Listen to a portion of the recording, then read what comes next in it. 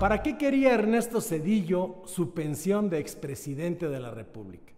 Pudo renunciar a ella porque el angelito tenía la pensión generosa y ubérrima del Banco de México, que cuenta entre sus jubilados nada menos que agentes de, de las características de Cartens, de Guillermo Ortiz Martínez, de Ángel Gurría Treviño, el ángel de la dependencia, con millonarias sumas mensuales y anuales.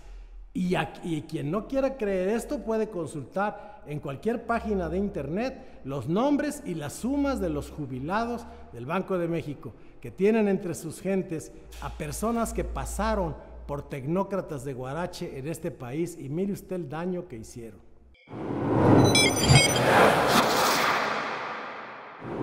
you